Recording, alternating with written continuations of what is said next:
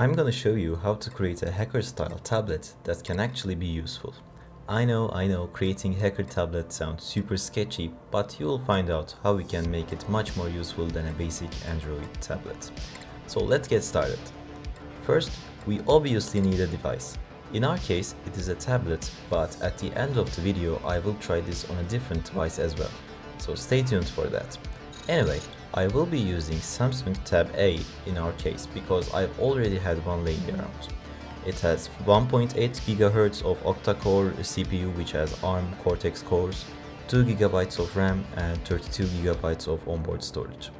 Which as you may have already noticed, this tablet has uh, not top of the line specs.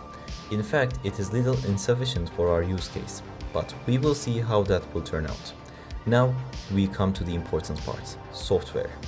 At that point, since our main objective is to turn our tablet into a fully functional computer, we can take multiple approaches. Our first approach is the most obvious one, which is running a lighter version of some sort of Linux distro on our tablet. At first glance, this approach may seem easy, but it actually needs some tweaking. Also, it requires a powerful tablet to handle the operating system. Then we got the second option as a backup plan and that is to use a separate computer and project it onto our tablet. This approach is much more suitable for the lower end devices, but since we had a mid-range tablet, it is hard to guess, so I will be trying both approaches. Starting off with the first one. To install an operating system on our tablet, we will need some apps, and those are Andronix, Termux, and VNC Viewer. Those may seem much, but they actually enable us to install operating system without rooting our device, which saves us a lot of time and hassle. Once we had all of those installed, the process is pretty straightforward. We start up the Andronix, choose the OS and the desktop environment. It will automatically create the installation command and copy it into our clipboard. Then all we have to do is to head over to the Termux and paste the code. Then it will start installing it. Once the installation was completed, we run the start command dedicated to our operating system. After that, we type vnc server-start command to start the localhost. Then we head over to the VNC viewer, create instance on localhost 1, and we got the operating system. It is that easy.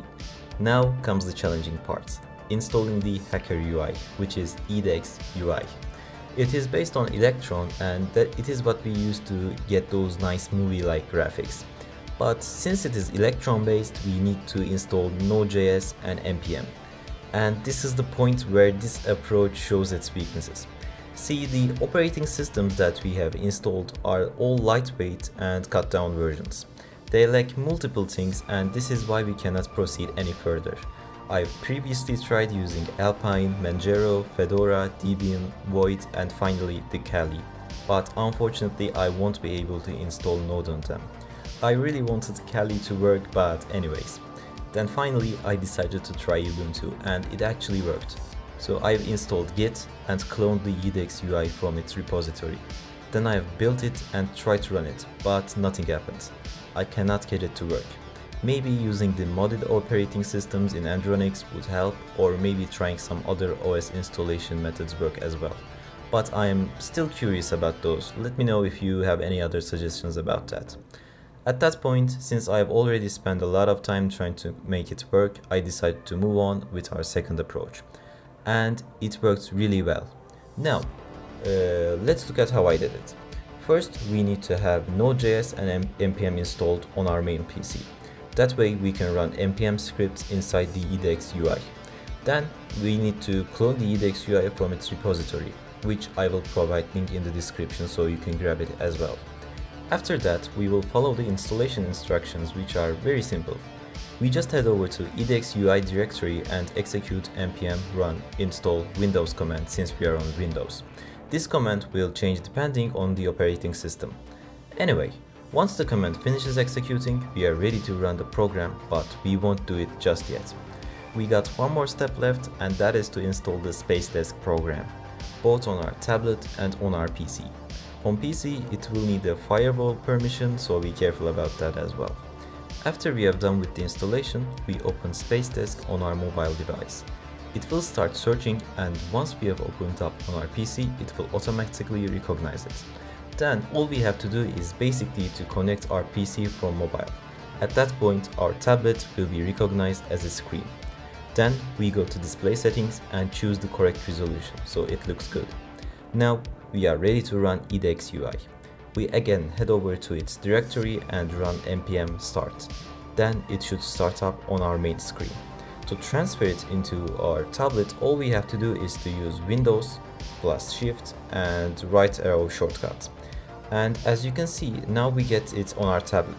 It is fully functional and we can access terminal, file system and system monitor information. In addition to all of these, if you have remembered in the beginning of this video, I have said that I will be trying it on a different device. And that device is my old Sony Xperia Z phone. It shows its age, but it works really well in this application, even so that it works much better compared to my tablet. Anyway, I hope you've liked this video. If that is the case, make sure to hit the like button and consider subscribing to see more content like this. See you next time. Take care.